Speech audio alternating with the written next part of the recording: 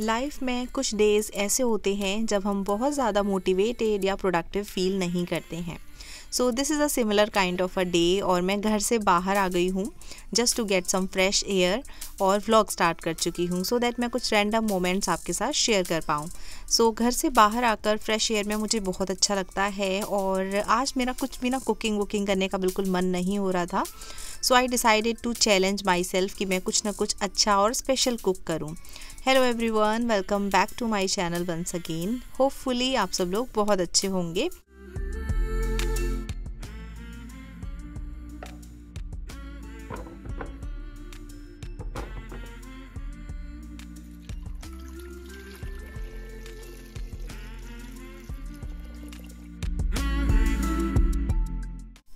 सो so, आप में से कई लोगों ने मुझे पूछा था मैं कौन से वाले पटैटोज़ लेकर आती हूँ? तो ये मैं यहाँ पर शो कर रही हूँ। तो ये वाले ब्राउन वाले पटैटोज़ हैं इस पर लिखा हुआ है रिजर्ट पटैटोज़ और ये काफ़ी अच्छे निकलते हैं और ये मैंने सैम्स क्लब से लिया है बैग घर के पास में ही सैम्स क्लब है।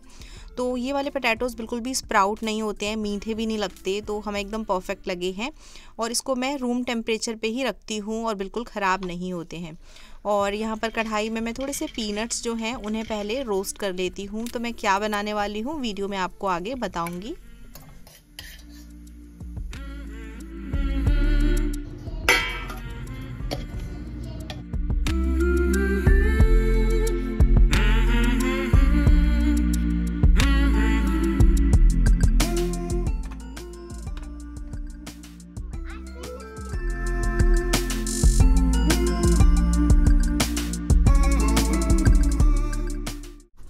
सो so, आज की रेसिपी के साथ मैं सर्व करने के लिए बना रही हूँ ग्रीन चटनी जिसके लिए मैंने मिंट लीव्स ली हैं हरा धनिया कुछ हरी मिर्च और एक गार्लिक क्लोव लिया है और सबको मैंने रफली चॉप कर लिया है।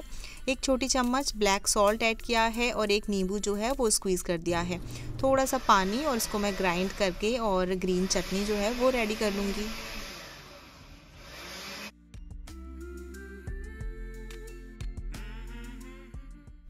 और यहाँ पर हमारी इवनिंग टी रेडी हो गई है। सिया और भूमि को मैंने मिल्क के साथ पीनट बटर टोस्ट बना कर दिया और हम लोगों ने ये चाय के साथ रस ले लिया था। And then some of you were asking me कि मैं कौन सा वाला वाटर फ़िल्टर जो है वो यूज़ करती हूँ, ये जग जो है कौन सा है? तो ये ब्रिटा का है जग मैंने कॉस्को से ही लिया था और इसका जो फ़िल्टर्स का पैकेट है, ये भी मैंने कॉस्को से लिया था। तो इसमें काफ़ी सारे फ़िल्टर्स हैं और ऑलमोस्ट एक फ़िल्टर टू मंथ्स के लिए हो जाता है। और ये वाटर फ़िल्टर पानी में से ना कई सारी इम्प्योरिटीज़ वगैरह को हटाता है। काफ़ी टाइम पहले हम लोग टैप वाटर भी पीते थे। मुझे तो कभी टैप वाटर से भी कोई प्रॉब्लम नहीं हुई बट मेरे हस्बैंड का यहाँ पर आने के बाद जो नॉर्मल टैप वाटर है, उससे स्टमक एक दो बार अपसेट हुआ। इस वजह से हम लोग ये फ़िल्टर्ड वाटर या फिर वाटर फ़िल्टर जग जो है, ये यूज़ करने लग गए हैं। और शाम को मैं सिया और भूमि के साथ कभी कभी बैठ के इस तरीके से जो रीडिंग करती हूँ, मुझे बहुत रिलैक्सिंग लगता है। तो आज का हम बस हम रीडिंग करने वाले हैं।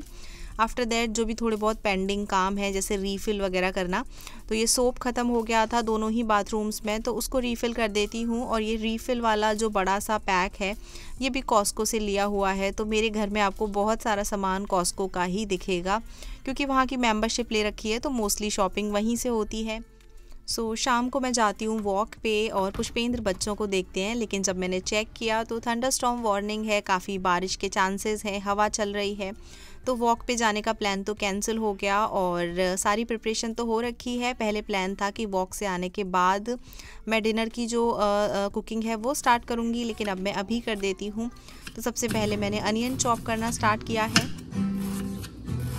Hey guys good evening so it's very nice to talk to you all तो अभी टाइम uh, हुआ है 4:41 समटाइम्स देर आर डेज़ जब थोड़ा सा इतना ज़्यादा प्रोडक्टिव और पॉजिटिव नहीं फील होता है और थोड़ा अपने आप को ना बिज़ी करके और इस तरीके से आई फील रियली बेटर तो मैंने सोचा कि चलो आज ना एक डिफरेंट सी रेसिपी ही बनाते हैं। वेदर भी थोड़ा खराब सा ही है और यहाँ पर आपको मैं दिखाती हूँ मेरी लिटिल हेल्पर क्या कर रही है।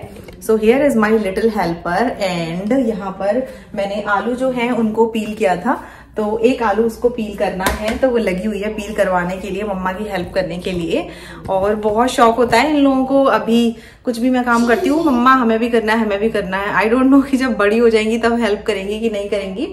तो बट हाँ मैं एक दो चीज़ छोड़ देती हूँ कि ठीक है तुम भी कर। लो अनियन वगैरह मैंने ऑलरेडी कट कर ली है। और देखिए यहाँ तक पहुँचने के लिए क्या लाया गया नीचे? ये चेयर पे खड़े हो आप? हाँ।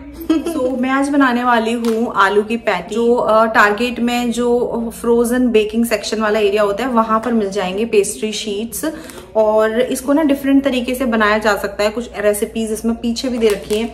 बट मैं तो सिंपली जैसे इंडिया में आलू पैटीज मिलती हैं, वैसे बनाऊँगी। और काफ़ी अच्छी बन जाती हैं। वन ऑफ़ माय फ्रेंड उसने मुझे रेसिपी सिखाई थी शिकागो में रहती है वो अर्पिता। तो उससे मैंने सीखी है रेसिपी एंड जब भी मैं इसको बनाती हूँ उसको डेफिनेटली याद करती हूँ। So let start so so, मैंने यहाँ पर कढ़ाई में ऑयल गरम किया है। ये मैं मस्टर्ड ऑयल यूज़ कर रही हूँ। ऑयल गरम हुआ तो मैंने उसमें हींग ऐड की है और उसके बाद मैंने जीरा सीड्स ऐड किए हैं।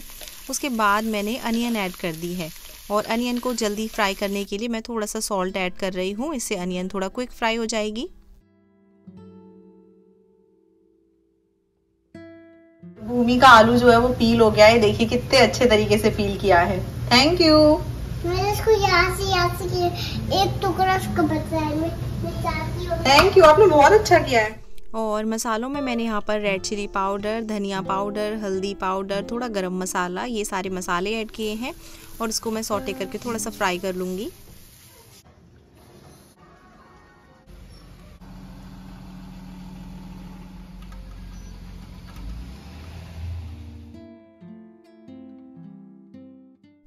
नेक्स्ट मैंने इसमें बॉइल्ड पटैटोज़ को मैश करके ऐड कर दिया है। थोड़ा आमचूर पाउडर ऐड किया है salt as per the taste हरे धनिए के पत्ते ऐड किए हैं। और जो मैंने पीनट्स रोस्ट किए थे, उनको मैंने इस तरीके से ग्राइंड कर लिया है कि थोड़े से ये क्रंची लगे। और उसके बाद इसको सब हम मिक्स कर देंगे। और बहुत ही अच्छी हमारी जो स्टफिंग है, वो रेडी हो जाएगी। तो हम आलू की पैटीज़ जो है, इससे बनाएँगे। लेकिन इसको पहले थोड़ा ठंडा हो जाने देंगे। तो इसको मैं ठंडे होने के लिए रख देती हूँ।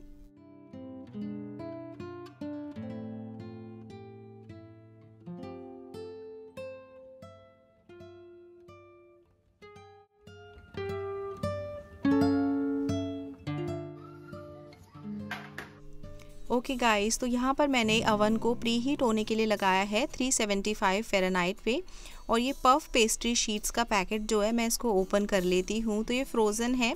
इसको मैंने अराउंड 20 मिनट्स के लिए रूम टेम्परेचर पे रखा। तो ये ऑलमोस्ट थॉ होने ही वाली हैं।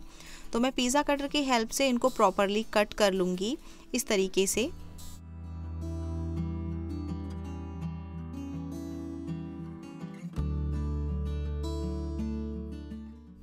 ऑन द अदर हैंड मैंने दो बोल्स लिए हैं। एक में मैंने थोड़ा मैदा लिया है, दूसरे में थोड़ा पानी लिया है। और यहाँ पर जो शीट्स हैं, थोड़ा सा मैदा स्प्रिंकल करके मैं इसको बेल लूँगी। इस तरीके से सो so दैट जो शीट है वो ज़्यादा थिक ना रहे थोड़ी सी पतली हो जाए। और अदर साइड में लगाऊँगी थोड़ा पानी और बीच में स्टफिंग फिल करूँगी और इसको हल्के हाथ से चिपकाते हुए एक ट्रायंगुलर शेप की जो पैटी है वो बना लूँगी। तो रफली बनाएँगे तो चलेगा। बेक होने के बाद ये हल्का सा इधर उधर से ओपन हो ही जाती है। बट हमें प्रॉपरली शेप दे के इस तरह से बनाना है। तो सारे ही जो शीट्स हैं उनको मैं इसी तरीके से फिल कर लूँगी।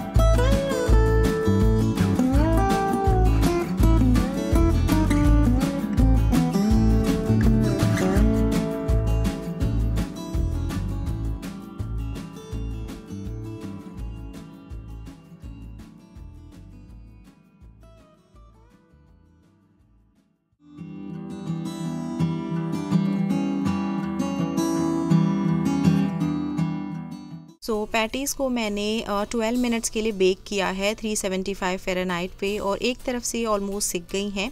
तो मैं इनको टर्न कर दूँगी सो so दैट एक साइड से ही सारी बर्न ना हो जाएँ इक्वली सिक जाएँ। और उसके बाद हम फिर से इनको रखेंगे तो इस बार मैं 14 मिनट्स के लिए रख रही हूँ। तो जो भी थोड़ी बहुत कमी रह जाएगी वो 14 मिनट्स और बेक होंगी तो परफेक्ट हो जाएँगी एकदम। और लास्ट टाइम मैं कुछ बेक कर रही थी अवन में तो यहाँ पर ये देखिए बर्न का निशान तो इससे ही जल गया था और निशान बन गया, ये जा ही नहीं रहा। प्लीज़ लेट मी नो कुछ आइडिया हो जिससे चला जाए। और यहाँ पर ये जो पैटीज़ हैं, एकदम परफेक्टली बेक हो गई हैं फ्लफ़ी सी दिख रही हैं ये। दोनों साइड से अच्छे से सिक गई हैं और ये देखिए बहुत अच्छी दिख रही हैं और खाने में तो बहुत ही ज़्यादा टेस्टी बनी थी। तो मैं अभी आपको दिखाऊँगी कि कैसे मैंने इनको सर्व किया। This is how I love to eat it तो मैंने एक पैटी को ओपन किया है और उसके बाद मैं इसमें चॉप्ड अनियन थोड़ी सी हरी चटनी ऐड करूँगी और सेव भुजिया और बस इसको हम बंद करके खाएँगे। बहुत ही ज़्यादा टेस्टी लगती है। Please give it a try